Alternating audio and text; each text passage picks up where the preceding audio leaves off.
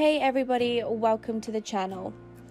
The Queen is at the heart of crisis talks today at Sandringham with Prince Harry after he and Meghan Markle announced last week that they intend to step down from their senior royal roles. Prince Charles and Prince William are expected to join Her Majesty and Prince Philip at their Norfolk home, while the Duchess of Sussex will be phoning in from Canada. Key issues for today's royal talks will be how the Duke and Duchesses plan to finance their future, their Windsor home, Frogmore Cottage, and their royal titles. With the unity of the royal family already disintegrating and the future of the ins- intuition under threat, Her Majesty is understood to be pressing for a swift resolution. However, the Queen has stepped in once before with Harry and his doubts over the royal life. Speaking in 2018 documentary Meghan Markle, American Princess, author Penny Junor explained Harry was a reluctant royal.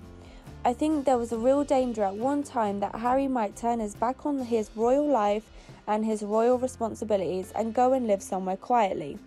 However, his grandmother, the Queen, persuaded him to just not give up on his royal duties. Miss Junor added, in the end, he stayed a royal.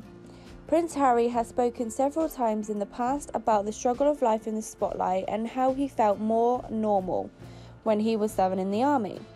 However, when he expressed his doubts about being a royal back in 2017, he upset the Queen, according to Kate Nicholl in her 2017 book, Harry Life, Loss, and Love.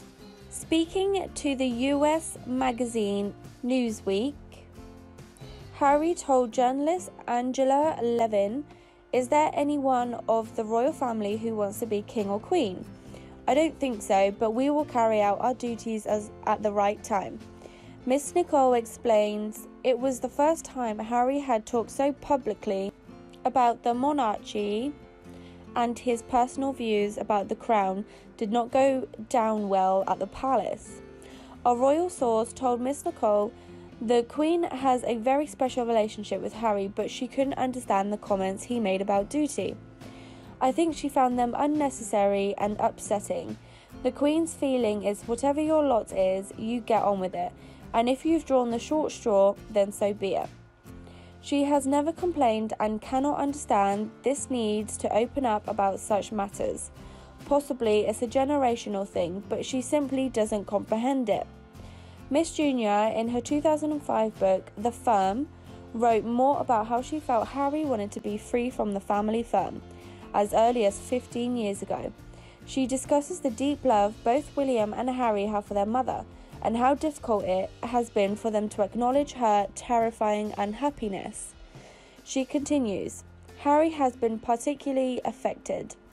Whether or not any of this is related to his behaviour in a matter for the psychoanalyst. In the meantime, it is important that a solution be found before he, like his mother, self destructs. The answer, perhaps, is to cut Harry free from the family firm. Why not let him step back from it all and do what he wants to do with his life? His father found it hard enough to carve out a role for himself, and he is here to the throne. So let him go out and earn a living free from all encumbrances. If his heart is really set, as he said it was, on following in his mother's footsteps and carrying on with her work, he could do it as a private citizen. He will always be a name that any charity would want on its notebook. And if the time ever came when he was needed to take up royal duties, then he could be brought back into the royal fold. Thank you for listening. For more celebrity news, please like and subscribe.